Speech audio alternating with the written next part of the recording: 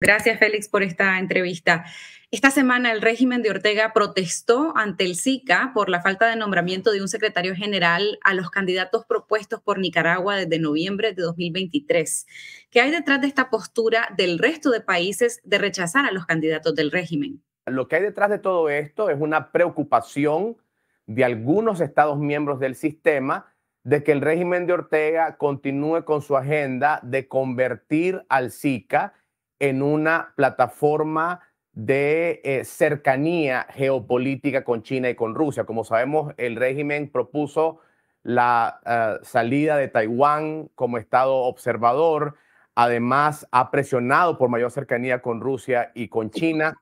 Y hubo, además de ello, un desencuentro cuando eh, se nombró un secretario general del SICA de origen nicaragüense y la Cancillería quería seguir abordándolo como que si fuese un funcionario del régimen. Es importante recordar que una vez que un secretario general asume un compromiso con el SICA, deja de ser eh, funcionario del país de origen y le empieza a servir a todo eh, el sistema.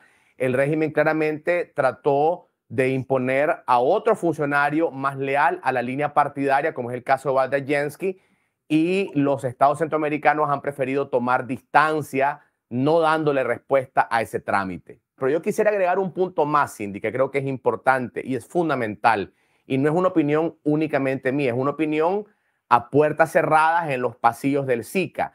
Y es que la presencia del Estado de Nicaragua en el SICA está cuestionada, porque el artículo 4 del protocolo de Tegucigalpa establece de que para ser miembro del SICA tenés que seguir los principios de la OEA. Y si Nicaragua se ha salido de la OEA, la gran pregunta es, ¿tiene validez su presencia en el SICA? Entonces, no es solamente el hecho de que el régimen quiere jalar al SICA hacia mayor cercanía con Rusia y con Félix, hemos visto algunos cambios de posicionamientos de los gobiernos centroamericanos respecto al régimen en los últimos meses. Un acercamiento, por ejemplo, con el presidente Nayib Bukele de El Salvador. Luego en Panamá pronto va a asumir José Mulino, que es el delfín político del expresidente Martinelli, a quien el régimen le dio asilo político. El presidente de Costa Rica ha dicho que lleva relaciones cordiales con el gobierno nicaragüense. ¿Cómo se traducen esas posturas en las decisiones de estos países a lo interno del SICA?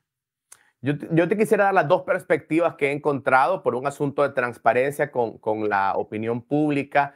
He tenido la oportunidad de recorrer Centroamérica recientemente en varias oportunidades y de conversar con algunos funcionarios. Uno es que la crisis política nicaragüense se alargó mucho y los países centroamericanos deben continuar con sus relaciones comerciales con Nicaragua. En el caso de Costa Rica hay una situación de vínculo logístico muy cercano en la frontera, el traspaso de eh, mercancía y bienes costarricenses eh, eh, pasan también por Nicaragua. Entonces hay una intención de mantener una relación cordial para no afectar las economías de Centroamérica. Esa es, digamos, la primera perspectiva.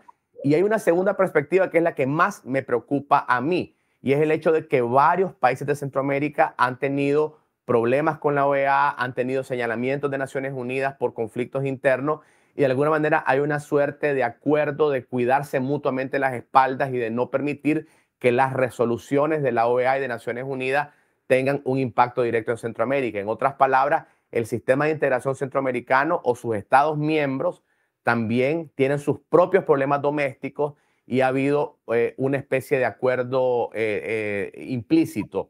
Pero hay que reconocer también de que Centroamérica tiene un déficit en su lucha por la democracia. Recordemos que hasta ahora las sanciones, la presión internacional, con la excepción de Costa Rica, ha venido esencialmente de otros estados y no de Centroamérica. ¿Sabemos cuál es la posición del nuevo gobierno de Guatemala que mantiene relaciones con Taiwán en esa pugna, digamos, que hay y ese intento del régimen de congraciarse con China?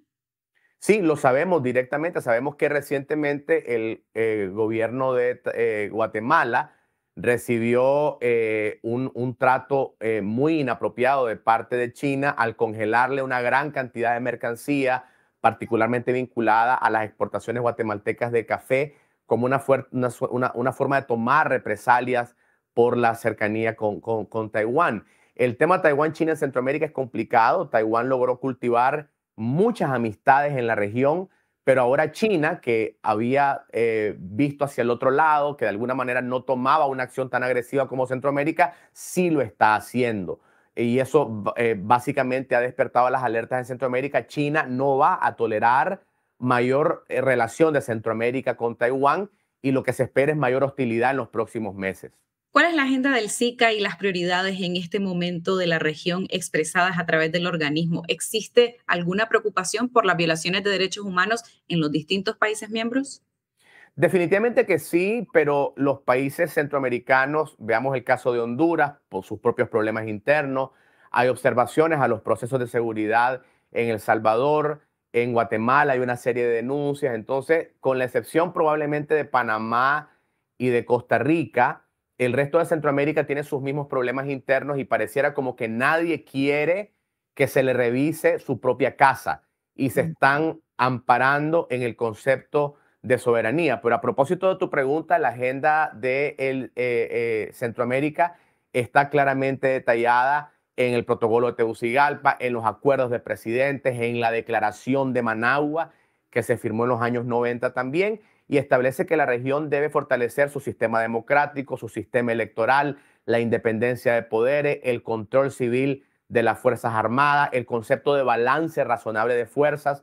Y todos estos parámetros están siendo incumplidos por la dictadura sandinista. Bueno, el régimen ha tenido una apuesta muy clara en donde tiene un comportamiento que yo solo lo puedo definir como títere y como irresponsable, en el sentido de involucrar a Nicaragua en una mala crianza ideológica y geopolítica en la cual nosotros no tenemos o no tendríamos por qué tener espacio. Eh, y voy a usar eh, a manera de ejemplo la reunión de la CELAC el año pasado en Bruselas, en donde Nicaragua fue el único país de las delegaciones de América Latina que no firmó la declaración de consenso. Incluso Cuba y Venezuela la firmaron porque consideraron que no había un respaldo abierto a, a Rusia, que implementa una invasión ilegal a Ucrania es importante que la opinión pública sepa que el régimen de Ortega está involucrando a Nicaragua innecesariamente en, un, en lo que yo llamaría una nueva guerra fría con el tema de Rusia y de China. Y el resto de Centroamérica no quiere tener ese problema, quiere una relación con China, claro que sí, en materia comercial, pero no en materia de seguridad, o una relación con Rusia y con el resto del mundo en materia comercial, pero no en materia de seguridad.